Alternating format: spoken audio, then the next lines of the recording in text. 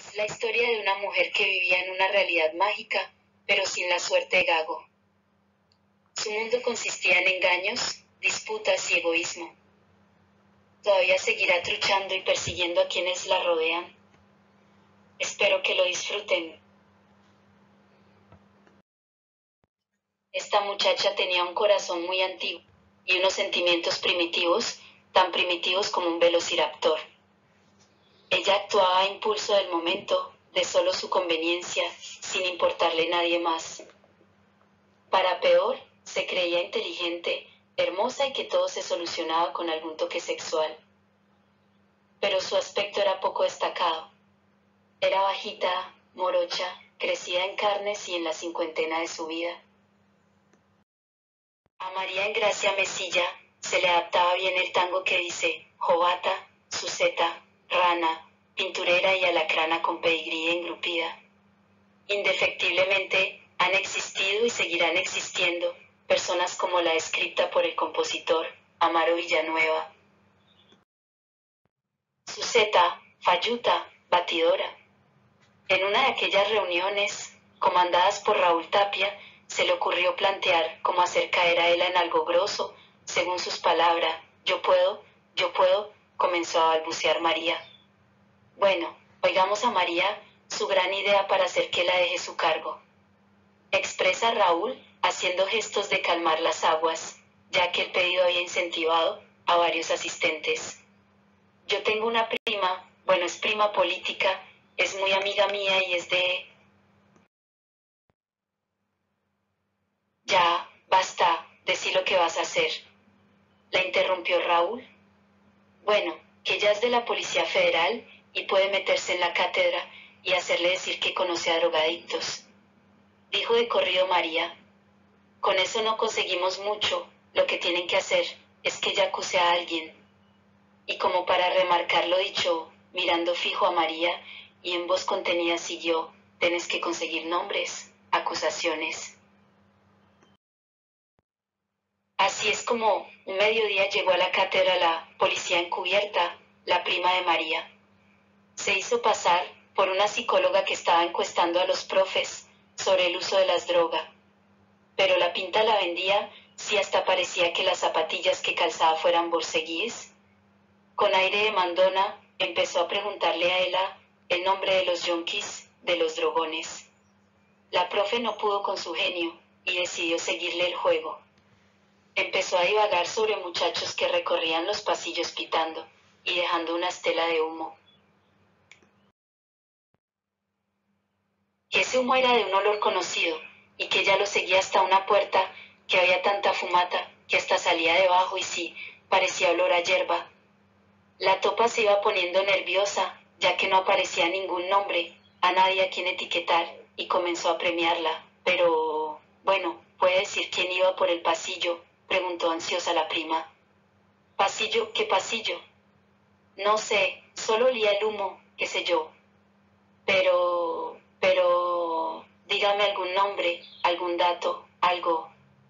Dato, nombre, dice pensativa ella, y con decisión continuó. Sí, sí, la puerta de donde salía la humareda era de la cátedra de María en Gracia. La cana salió de raje, ya que se dio cuenta que la profe la había calado. Pinturera y alacrana. Después de este evento, ella pensó que Mesilla estaba muy descontrolada y mejor la alejaría de ella. Aquí la profe se equivocó. Quiso dejar todo en claro y le comunicó a María que ya no formaría parte del grupo de investigación ni publicaría más con ella sin pensar en que estaba tratando con una persona poco equilibrada. Mira, María, me tenés harta con tus tonterías, eso de tu prima es la gota que rebalsa el vaso. No, Ali, no, lloriqueando siguió, yo no tuve nada que ver, si fue Tapia y el doctor Mono quienes me dijeron que le dijera. Basta, basta, no sigas, me importa un pito lo que decís, ya está, no formarás parte del grupo de investigación el año próximo. María la miró fijo, con la nariz contraída y los bordes de los labios subidos. Si sus ojos pudieran echar rayos cósmicos, hubiera aniquilado a Ella. Mesilla vivía en una burbuja de realidad mágica y como tal cavilaba la forma de vengarse de esa jefa mala e infiel. Esa tarde, repantigada en el sillón miraba Pasión de Gavilanes, donde la venganza de una de las protagonistas consistió en requerirle relaciones sexuales al marido de una amiga. Y se inspiró, aunque parezca como era una idea de telenovelas, María decidió llevarla a cabo. De esta suerte, a la mañana siguiente, el marido de Ella se encontró acosado por María. Al abrir la puerta de calle, quedó tan sorprendido que ni atinó a cerrarla. Antes sí estaba una María en gracia, fajada en un vestido rojo, con los cabellos sueltos y húmedos. De los ojos ennegrecidos por algún carbón o algo así, se escurrían lágrimas, que pintaban un camino negro por las mejillas hasta los labios. Casi no comprendía lo que decía, solo captaba que ella quería refregarse en él, quería abrazarlo. Reaccionando ante ese momento comprometido, la fue empujando de los hombros hacia afuera y ya en el jardín le pidió que volviera a su casa a pensar tranquila. Cuando ella le preguntó por teléfono a dónde se había ido Mesilla, él le dijo que había subido a un Opel rojo conducido por el marido. No era raro, ya que había notado que el marido sabía apañarla en sus correrías. Rana y engrupida. Pero no vayan a creer que María se mejoró con la salida de la de la facultad. No, todo lo contrario, parecía que yo viera pensando que la profe le pertenecía, que ahora que se había retirado, solo ella podría seguir explotándola. Al poco tiempo, se realizó un congreso en Uruguay y que lee en los ojos de Ella un trabajo científico desconocido para ella, pero con su nombre, acompañado del de María en Gracia. Parecía rumbo a lo desconocido, es que esta mujer se creía tan viva. ¿Pensaba seguir aprovechándose del nombre de la profe? Aunque no paró allí la cosa, también se enteró que había truchado la firma de ella y presentado como si nada su tesis de máster.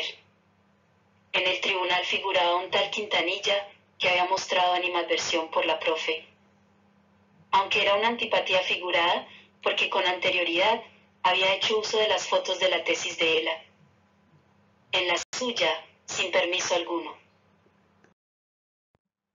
Ante estos hechos, Ella no le quedó más remedio que tratar de parar el abuso y se comunicó con el director del máster, que resultó ser un conocido de ella. El hombre le explicó que no solo estaba involucrado su nombre, sino que la aprobación había sido firmada por la secretaria del Consejo Superior y el rector. Quedando de acuerdo, la profe y el director en que la arreglaría el entuerto y que le comunicara a la mesilla que no usara más de su nombre. La alacrana quedó masteriada porque la pensó que generar un problema a gente que había sido engañada por María no valía la pena. Total, la tesis ya había sido robada de su cátedra. En realidad, compaginada a partir de algunos papers que había publicado ella. María quedó masteriada, como ya se dijo, pero no doctorada debido a que fue incapaz de hacerlo sola o con la compañía de Francis. Como ven, el tango de Amaro Villanueva hacía mérito a este personaje. Hemos llegado al fin de otro capítulo de Crónicas Universitarias. Y fin de María en Gracia Mesilla, una persona bastante común en el convivir diario.